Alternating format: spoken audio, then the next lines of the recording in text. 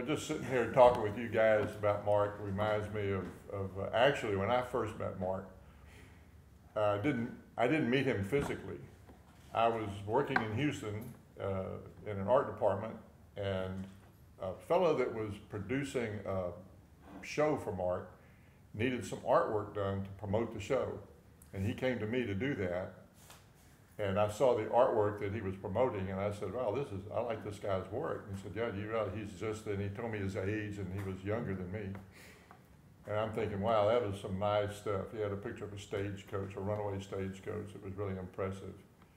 And years later, I actually met Mark. Then I met him personally, and I said something about knowing his work. And he goes, "How did you know it?" I told him the story. That just started that, and so from that point on, we we'd run into each other from time to time at different places. And then it was interesting that when we moved up here from Houston, he lived up here, and it turned out we only lived about a block and a half from each other. And uh, Well, Jim a while ago was trying to recall when he met uh, Mark, and he said he just didn't remember. He said, I've just known him for so long that I don't know the exact time that I met him. Uh, but y'all went to school together? Well, we both went to the University of Houston, and he was a loyal, loyal Cougar. Yeah. Uh, and I think that's part of why we meshed. Uh, because, but I went to law school at the University of Houston, and he had gone to undergraduate school. And of course, we both loved sports. And uh, uh, I always told him because he went to high school in Odessa. I have a really good friend that played football at Odessa. And uh, I told Mark, I said, you played on the most talented backfield in the history of high school football because Mark was the fullback and Larry Gatlin was the quarterback. And where would you have more talent than with those those two two. people? Yeah. Yeah. One could sing and one could paint. Paint, absolutely. and then be an athlete, and that's You very got- unusual. you've got a picture here that, that uh, I think, did you commission Mark to do that? I did. This was his last, unfortunately, this is his last painting. But the, what I, what I wanted him to do, I have this picture that, that was taken when I was playing at Arlington State. And so what I wanted him to do, I want, I asked him, could you do a painting for me? And I wanted him to paint this photograph. And so, uh, I said, what do I have to do? And he gave me a price on the commission and gave me the check. And immediately when I gave him the check, he said, okay, I want to see all your annuals. I want to see any newspaper pictures He that did you have." research. Oh man. He, he did, he oh, On wanted every- all of everything. that.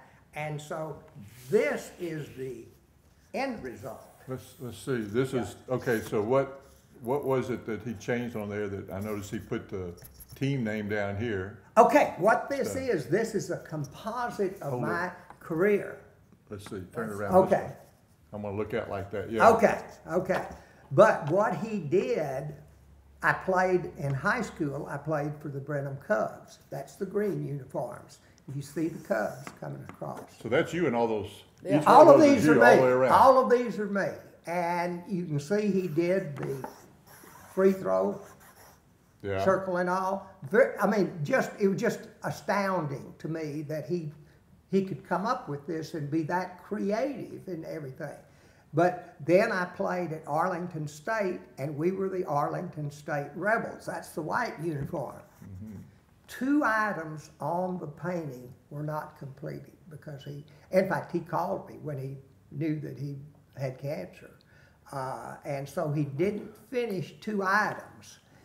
This, that looks like a ghost, that was gonna, that's a pirate. because okay. I He hadn't filled it in yet. Exactly. I played for the Southwestern Pirates, so that was going to be the Pirates. And then he asked me, he said, Is there any one game that you remember? Well, when I'm at Arlington, Arlington was a division of Texas A&M. Tarleton was also a division of Texas A&M. They were bitter, bitter, bitter rivals. Our coach, Coach Tinker, had gone to Tarleton. We had beaten Tarleton the year before. He cried after the game. Cried after the game mm. because it meant so much to him. But we beat Tarleton, and I can't tell you what, I think we beat them something like hundred and thirty something to hundred and eighteen Well, in this, Stephenville. this painting, when, when the, the museum was able to go in and, and recover the things that he left for his legacy to be on display here, Yeah, um, because this was yours, it was returned That is to is you. correct, that is But correct. that was the last thing on his easel, where his chair and his brushes and That's what he everything sat working on, I'll be- for him to work on. And we have the mahl stick here that he used, that he would hold to steady his hand to do the detail that he Yeah. did down here. But this was returned to you back then, and, um, this was, it was And really this, and, and this is actually a, a, a print and it's smaller than the actual, uh, painting. Uh, But one of the things to show you how detailed he was, he and I couldn't remember, these are Converse All-Stars. That Right. was the sco- that was the shoe of the day. There, there weren't any Air Jordans or anything like that. Everybody wore Converse All-Stars. Neither he nor I could remember where the star was. Yeah, And so I went home. I said, and I got, I still had a pair and brought them up because he wanted to, he wanted the painting to be accurate. And, uh, and to me, it's, it's, it's absolutely amazing because once I saw it, the title of this painting is The Jump Shot. do you have the original painting? Yes. That- Okay, right, Yes. yeah, well, that was all returned, right? Yeah, Well, while we're sitting here, all of these things in the, uh, his gallery here at the museum, he used for resources for his paintings. He wanted accuracy, like you said. He re- Oh, He just- researched, when, when we got his, uh, building that was full of his work and then his research, he had a room full of research material. So he was. I want to jump in on, on, okay, on the, the detail, the research, um, by pointing to the level of research he did to create the barkeep rules, which is, this is one of a series of paintings paying tribute to the significant role of the barkeep, or I call them the saloon keep, Yeah. um, in the Old West. And his research taught him that the barkeep in any given town was just as important as the mayor or the city council. Or the minister. maybe, maybe more so. and, and in his research, those who were lucky enough to get inside Mark's studio found a saloon. Mark built a bar. He made it look like a part, a, a real saloon. Mark, you were talking about acquiring, and you all have a lot of the artifacts that he used to inspire his work. The top hat Yeah. is somewhere here in the museum. Right there. It's that one over here. There we Yeah, go. it's the There's up the there. top hat. Yeah, he had a glass enclosed case on one wall of the studio that had that painting, and beside it, on pedestals and various things, he had some of the um, the the artifacts that he had collected. The shoes. He has the shoes. You you probably have them somewhere here in the the museum as as well. He went to incredible lengths to make sure that his work was authentic, that there was no question about this being um, a real image in his Western paint in his paintings. He did, he did basically the Norman Rockwell realism of, of that. Because this is very similar to the way Rockwell worked, where he would put the people in the clothing that he wanted and then photograph them so that he got the accuracy of the proportion of the clothing and how it fit and the folds and everything in it. And, Maybe um, you have a list. Beautiful work with that. You have a list of quotes from him. Uh, tell us, read some of them off, off of your list Well, to kind of tell how. I was always interested in his being a football player because in my world I had never met uh, somebody who had played football rather passionately and then became an incredibly passionate artist as well. So I did find a quote in going through some old newspaper articles from Mark that said, when you play football, you have to do a lot of things you don't want to do. as an artist, you need to have the same discipline. Um, there was also another quote that said, There was never any question what I was going to do with my life. I'm not sure how that sat with the board that gave Mark the full football scholarship to the University of Houston. Hey, as long as he could play, that's Yeah. what they were interested in. Yeah. Yeah. Well, these are, um, these are, there's other quotes that you have that I think would be kind of neat to bring out as we go along, especially with some of this, the- these things. The, um, the attitude that he had of, of his research, uh, is something that many people, many people have to go they- and go outside and look at a tree to paint the tree. Mark would build a tree inside his studio to get it just the way he wanted it. And if he had to, I mean, he would go to that extent. He had a full wood shop. He would build his own frames. He would build his stands for his bronzes. He would build the bases for the bronzes. That usually would be sent out to some cabinet shop somewhere. Mark was capable of doing all those things. You know, he, he just, he, he just had that talent. And he didn't look at anything as something he couldn't learn to do when it came to being creative. And that's, that was the thing that, that made him the artist that he was, was that, that, that passion and creativity and how he looked at things and interpreted those things and, and then shared them with the rest of us in his paintings. Because we all enjoy them looking at it from that standpoint. Well, I'm not as fortunate as y'all. I did not have a personal uh, relationship with him. Mine came at the end of his life. And uh, when we went, when Joe and I went over to his gallery and walked through it, it was like being in a fancy, a fantasy land to me. I just couldn't believe that somebody could do all these things and produce all these things. Uh, like I said, I didn't know him, and I, di- I, w- I wished I would have known him better, but I didn't have the opportunity. I knew him through community. Well, he was a fun guy. He, he had Oh, a yeah. real good personality, Yeah. joke. And he had an eye for the ladies. Yeah. He had an eye for the ladies. Uh, he had good, and he had good vision. I used to marvel when I'd go to his studio, and I'd go because it was very close, and uh, I just periodically go in and visit him with the Indian paintings, because the Yeah. Indian paintings to me looked like you were there at a window, and you were inside the house, and the Indian was standing outside. They were so realistic. It just And didn't he have Indian blood? he did. He did. He did. Yes, but but uh, those. What was his mom? What was his? His mother was half Chickasaw, Chickasaw. Yeah. and so that would make Mark one quarter Chickasaw. Yeah. Quarter, yeah. And as I understand, I never met her, but I understand never she was an accomplished artist She as was. She well. was, she was, she was internationally known. Wow. But she did. Uh, She published on- four books Uh-huh. on She porcelain painting. Yeah. Yeah, porcelain. Beautiful work, beautiful work. The fact that you could go over there and go in and out like that, you were a favored friend. Because Mark didn't open his studio to just, people just come roaming in. Oh, hey, is this an art studio? Can I come in? Yeah. Uh, I remember in my art studio, I had somebody walk in one time and they had seen that it was, that was, the name that I had on at that time was called Mustard Seed Studio. And a guy came in and he talked to me for about five or ten minutes and then I said, well, what can I help you with? And he pulls out a roll of film, wants to know if I can process his film for him. I said, I'm not a photo studio.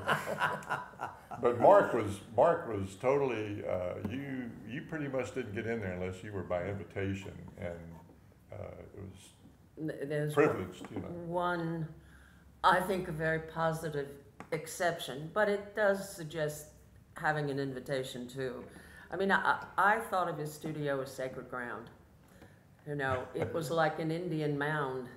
It, it really was, from my perspective, and I um, remember asking him, actually begging him, uh, to allow uh, a number of artists who were going to be convening in Conroe as part of the Lone Star Art Guild annual convention.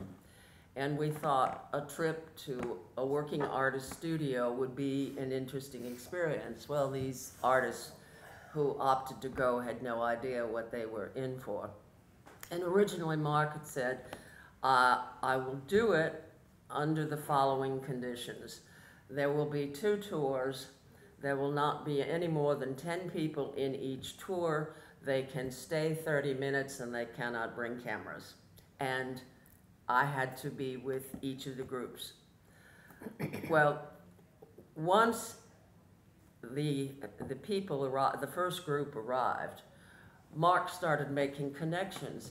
Um, there happened to be one artist that he had known for 20 some years but hadn't seen her for the last five years. Um, there were art teachers in the group. And the 30 minutes went to 40 minutes, went to 50 minutes, went to an hour and about an hour and a half. I don't know what the second, second group was doing, waiting for their turn. But he loved it. And all of the people who were lucky enough to sign up loved it too. The first group and the second group. Um, he didn't l- allow anybody to take pictures, but uh, there was one teacher, Betty Arnold from the public school system, an art teacher for many years, who just said, I just wish my students could look at this studio. The studio was inspiring. Like I say, it was a fantasy world for me. I'm not, I'm not an artist, and I couldn't believe that he had wax figures that he was working on uh, before they were bronzed, and he had a, a paintings that he had, and I thought, oh gosh, and I can't. I'm the most unartistic person in the world, but we're so fortunate to have this at the in Conroe for Montgomery County residents Oh, and yeah. visitors to come and Well, see. he had, a lot of art studios will have more than one project going at a time, and he would have maybe one or two pieces of sculpture, plus a painting or a picture he was commissioned to do, or one he just wanted to do. And very often, uh, being an artist myself, I know if somebody sees a piece before it's finished, they, they often get a conclusion of what it is before they see the finished thing. And the artist very often, many artists would cover their work when, it, when people would come in, just so you couldn't see what they were working on. Did you ever see would- him putting clay on a sculpture or putting a stroke Well, on no, and by the same token, if, if, uh, if he came by my place, uh, I would stop whatever I was painting, and not that I was hiding anything, it's just that, that you can't concentrate on what you're doing, and, and like him, I would hit a level of concentration that I didn't know what was going on around me once, I- if I got into what I was doing, and Mark was the same way, I would see, we, we talk about that, that was one of the common things that he and I, even though we worked totally different, uh, we had uh, respect for each other and, and that, that when we got into that passion, into that moment, uh, things would just change. I wouldn't know what was going on and time would just go by because I was so concentrated on, on accomplishing, I wouldn't think to eat or anything. I just keep working till I hit a certain point. And then when I hit that point, well, then I would relax. And he would do the same thing. He'd go, for, he'd go way into the night as I did. We talk about how often we got our best work done at two, three o'clock in the morning, up just because that's when we felt like doing it. And um, we had a when you're in that, you have a whole different work perspective, and than most other people. Most most artists, if they're into it like Mark and myself full time, um, our schedule is not like everybody else's. You know, our, during the daytime when everybody else is carrying briefcases and heading for work, we're sitting somewhere drinking a cup of coffee, watching them, thinking, "Well, I'm glad I don't have to do that." Yeah. But we're up at two or three o'clock in the morning trying to meet a deadline maybe on something. So I think that's why your artists, artists are unique people. And, and that sets them apart of why you can do the things that you can do, uh, that I would never envision. Now, I can look at them and enjoy them, but I surely couldn't create. that's what he wanted you to see. When he was when he was through, and then he was ready to reveal it. He had different reasons for doing his art. It wasn't just commercially to just to market. It was to capture history and a feeling and a, a I don't know, kind of a theme of what the Southwest was all about, Texas and the whole Southwest. But I think he loved every subject that he put either into a painting or, or in a sculpture. I mean, clearly there was the connection to, to being a Native American. Um, he felt strongly about that. And he told me he also felt the negative effects of being a, an American Indian. Um, you know, not fully accepted. There were times in his life that he experienced the, a, a bit of di- discrimination. And there, he felt deeply about the Lakota tribe and, you know, the, the heartbreak that a lot of Indians went through when they were taken away from their homes. And I wish we had the painting. I believe one of his relatives uh, owns a painting that was his tribute to the Trail of Tears. no, Not- not well, it, it, I, I don't know exactly what, what particular event it related to, but part of it had to do with the importance of the buffalo. Yeah, um, to Native Americans, and that that was also taken away from them. And he tried to create by juxtaposing the buffalo and symbols of the Lakota tribe in one painting. I, I really wish we had even a picture of it here. I think his brother-in-law had it, um, and I saw a photo of it. Uh, but I also saw the print, what he had written about it. And to my knowledge, I don't know if it's true with yours, but I'm lucky enough to have bought one of Mark's paintings. And it, came with a full page explanation about why, the, about the painting. Um, it's actually here. Um, it's, it's called Crow Chief Plenty Coups.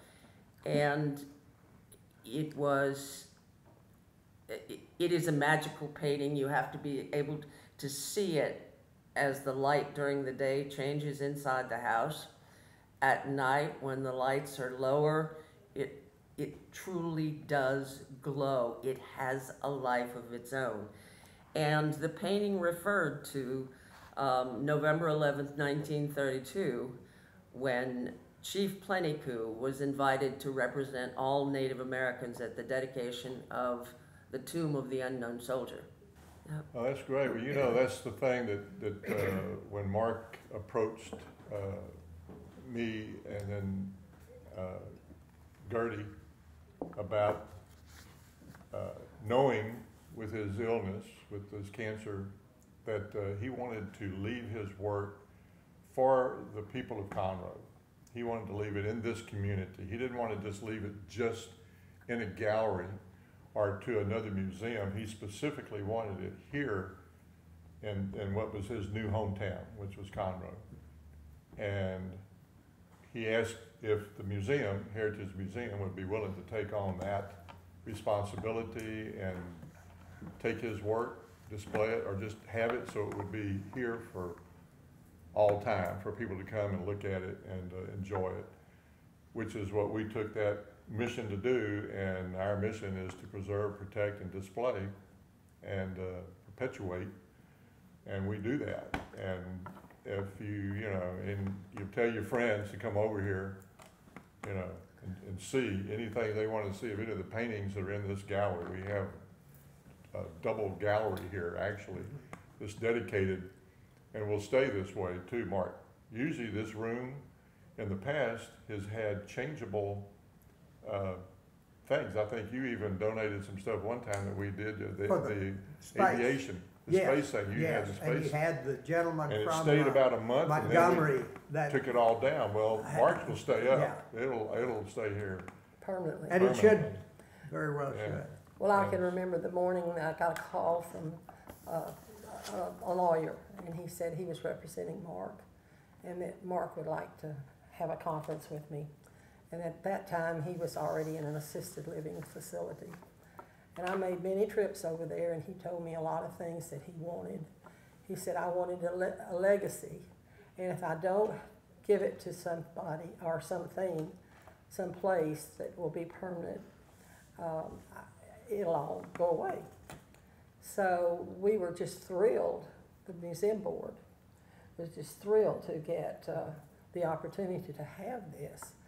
And then when we saw all, we had no idea what, what how much that he had, and um, uh, we had to go through and inventory everything, and and uh, I don't think we ever got our appraisal on anything. No, Or- I, or- I know we never. but it, it's, it's, uh, just, we can't say how much we appreciated our, the value of it. And, I hope that a lot of the people that, uh, have known about Mark will come to the museum and see this wonderful. Yeah, people, that- we have, we have rifles, they're not in this gallery, they're in another gallery in a particular case. This is primarily for A that. collection his. And it's a collection, and, and there's some rifles in there, some muzzle loaders, but there's also an eighteen seventy-three Remington, or Winchester, octagon, uh, barreled, very heavy repeating rifle, one of the first lever-action repeating rifles.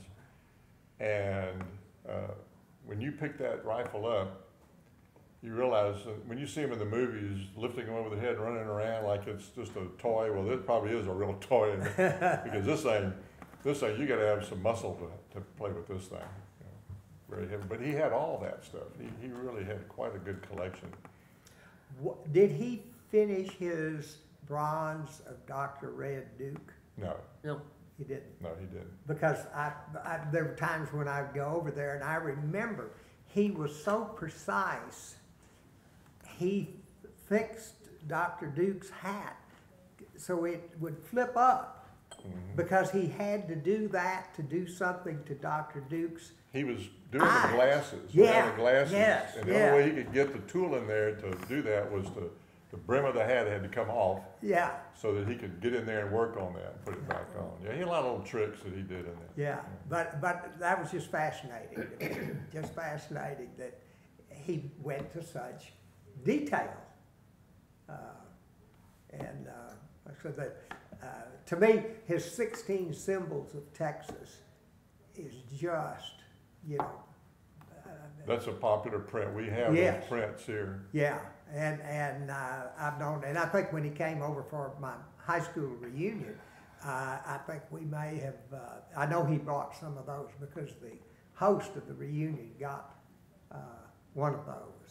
And, uh, Yeah, Jim took him to a, a high school reunion. High school reunion. And Oh, Brenham right. High. Brenham. Brenham High. Brenham yeah. High, And uh, I don't know what uh, caused, but he was, you know, I, obviously he went and he spoke to the group. He was, and I mean, he was part of the group. He was part of the group. He would have, he'd have been a good Brenham Cub. He mixed right in. His, his last year, uh, we invited him. My wife, uh, asked him one holiday, what are you doing for Thanksgiving? And he goes, well, not much.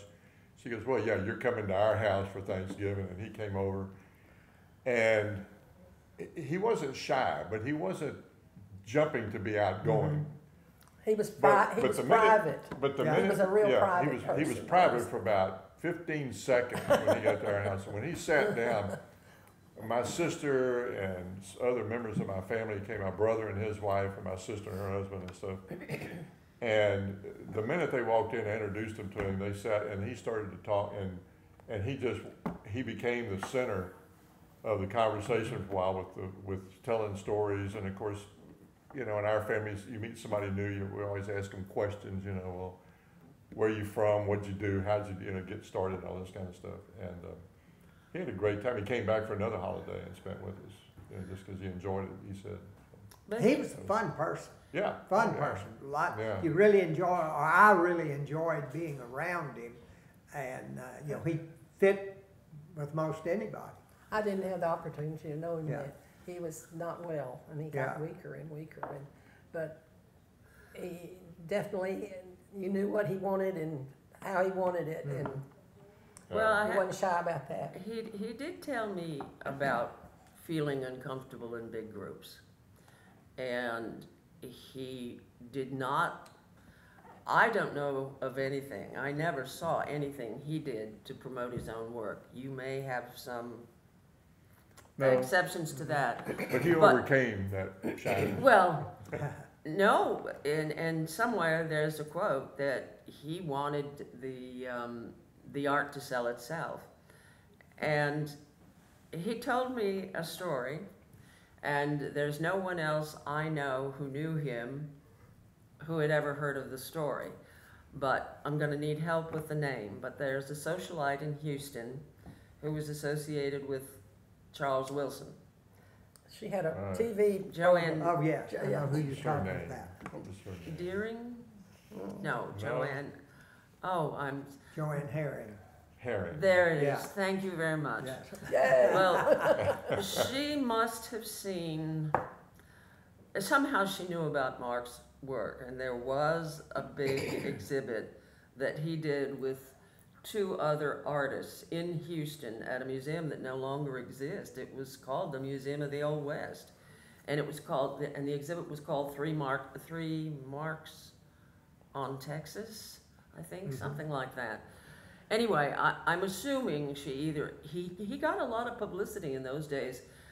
I think after he did the, the bronze cougar statue for the University of Houston. University of Houston, um, you, uh, the, the museum has a lot of the newspaper clippings about him, so maybe that's how she heard about him. But at any rate, he told me by way of ex- explaining how shy he was that she had thrown a party at her magnificent estate and she wanted his paintings to decorate her house for the party. And of course, she wanted him there. And he said if it hadn't been for one person whose name he never gave me, he would have died there. He was, he felt so uncomfortable. Oh, goodness. Um, well, I don't know if there was a theme for the party, if she was doing it as a fundraiser, I have no idea. He didn't give me those details. She was details. real flamboyant. Oh, yes, yeah. But, um, you know, that was just, I, there's no record of it. I know I've gone through a lot of the research here. The museum's been kind enough to allow me to, to research some of that, and there's nothing I can find that attests to it, but it, but it's a story he told me. Um, be- to, to, to explain that he was uncomfortable. Well, also when he got there, he, we talked about that, not that particular total event, but he was saying something one time. of, You get there and people start looking at your art and somebody says, oh, and here's the artist, let me introduce you. To the this is the artist, and then people start, and you, you feel like drawing back is kind of like, you know, yes, I am, you know, and, and, you know, he said he just felt like it is, and they'd ask questions about, well, why did you do that particular one? And well, I just felt like doing it, you know, and, and there's uncomfortable questions that, that, that often are asked, and when they, when, when she took him around, she was really pushing him out, you know, putting him in front and stuff, and so that, that added to it, that was, that was the other side of it too, is, uh, Well, he told me that, I mean, I said, how do you promote your work? I mean, you spend a great deal of time, as everybody has pointed out, in his studio, late hours and et Mhm. cetera, et cetera. Um, and so he told me he hired an agent. Now, I have no idea who that person is. Um, I know that there, no, I don't know. I have heard from him that a lot of um, well-known athletes purchased his paintings. And somebody had to put them out there for him to know about it. Well, I'm so glad we had this opportunity to get together, and uh, I've learned a lot about Mark that I didn't know, so. Well, I feel uh, honored that you asked me, because, Well, I knew you told me you, you knew him and admired him and oh, he, respected like I say, he, he, he just a super individual. Yeah. Super individual, and like I say, all you have to do is look at what you see around. The, to me, the beauty is, with Mark's work, you can look at it and you know what it is. yeah, Somebody doesn't have to tell you, this is what it is. yeah.